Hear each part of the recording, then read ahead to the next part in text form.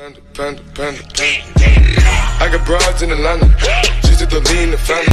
Credit cards in the scammers, hitting the licks in the van. Legacies, family, wait and see, look like a panda. Going out like Five minutes tonight, Kevin. They said you were on a minute restriction. So how'd you feel after playing 25? Uh, I felt pretty good. Um, you know, initially that first win is always tough, but uh, even after that, I felt like um, my legs were underneath me and that I could have um, played a little bit more even in the uh, the second blow. But um, you know, a lot of guys stepped up and, and played quality minutes tonight, and even in a sloppy fourth quarter, we were able to get it done. Kevin, a lot has changed on this team since you last played. A lot of new guys, a lot of the other guys gone. Mhm. What was your first impression of, of playing with the guys who were, who were here? Yeah, I mean it was uh, not totally uh, limited minutes. I mean I think I'm only averaging 28 for the season, but um, just being out there with those those new guys, uh, it felt good. Um, you know, didn't get to be out there too much with with some of them, but it'll be nice to you know get our whole whole team back and back healthy, especially with Rodney and Larry. Uh, out being the new guys and Tristan and Jetty and all the, and all them. So um, it's going to take us a little bit of time, but um, know, we get stronger as the season goes on. And, but it was nice to play with uh, JC and uh, George Hill. It was good. Where did your timeline accelerate a little? It seemed like you were thinking middle or end of the week when we talked about it. Only uh, well, when I talked to you in Phoenix, I, I just need to get one more scan. So um, I got the scan uh, this morning, and so I was just waiting on the word uh, getting back from that, and uh, they told me. Um, you know, depending on how I feel, I said, "Listen, I feel good. I'm going to play." So uh, I wanted to kind of push that along and try to get as many games as I could underneath my belt. So, um, you know, a little bit sloppy there, but uh, you know, I'll take a win in my first game back. Kevin, your rhythm looked real well. Um, how did you feel in that regard? pretty good. It just uh, it kind of felt uh, like it did early in the season. Like there was one where you know I caught the ball. Uh, you know after Kyle, I kind of got caught in the corner there, and I saw Bron, and I passed it out towards half court, where usually I hit him on the back door. You know, it's something that uh, I, I usually see, and he's able to make the play. But you know, I threw it over half court. We got the the back court violation and.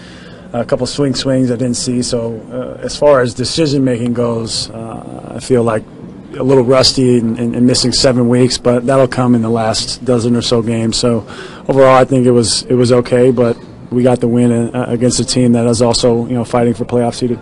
Kevin, how much five on five have you done prior Say it again. How much five on five have you done prior? Zero. I've only done you know I've only gone against the coaches. So uh, and I know that's actually a good question because uh, uh, even when I spoke to. to uh, Joe last week in, in Phoenix, it was you know trying to get trying to figure out a situation throughout this week because I mentioned Friday being the day that I could get out there and, and, and practice, but we just had so many guys out that there wasn't going to be any time to to have a two on two, a three on three, four on four, five on five. Um, so I just had to kind of throw myself out there and, and, and try to get my rhythm that way. The uh, slapping handshake you did after making the 31 footer, did you practice that while you were hurt so you wouldn't forget it? I know. I just saw I saw Bron uh, coming with the that sort of energy that he wanted to shake. So uh, no, just it had been a little over seven weeks in, since we had done that, and he had actually called that play. He had uh, said run right behind me. He flipped it, and uh, you know most of the time guys are open for, from out there, so I let it fly, let it go. It Feels strange to come back at Ty's not here.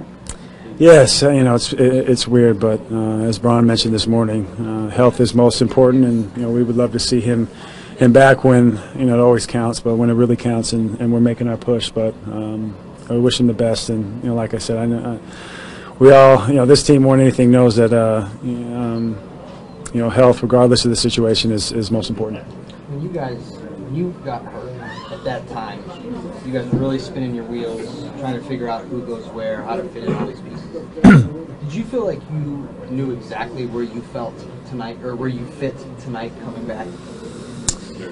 Um, yes and no. I mean, I can always go out there and, and play my game, but I felt initially, um, uh, I don't know if I had any shots inside the paint tonight, only because um, I gave up one. I th- threw into Jeff and turned it over, but um, uh, as far as finding out where, where to pick and pop and where to pick and roll, I just uh, felt a little rusty on that too. That's part of decision making as well, is just figuring out where when and where to roll, and you know, kind of uh, you know being back at the five and, and, and doing that again. But um, you know, that'll just get better. And, and you know, once I watch some film tomorrow and pick my spots a little bit better, it'll be all good. Kevin, even with you coming back, you guys were obviously still a little bit undersized against the Milwaukee team, but you out rebounded them by like 10. What was the difference on the glass tonight? I think just hitting them first, having that mentality. Uh, Bron did a great job of that, and um, you know we had a number of guys that, that uh, had several rebounds tonight. So uh, yeah, they were a long, athletic team. They get out in transition. They uh, keep balls alive, and uh, you know they they actually shoot. Um, you know, shot quite a bit of threes tonight, and uh, those, those balls were falling all over the place. So I felt like we did a good job of that. I guess to ask this a little more bluntly, in January, you were trying to incorporate Isaiah. As a result, everybody's numbers went south. Now you've cleared out not only him, but five other guys. You come back. Do you know, do you feel like this is LeBron's offense and your offense? Do you know exactly where you fit in terms of the grand scheme now?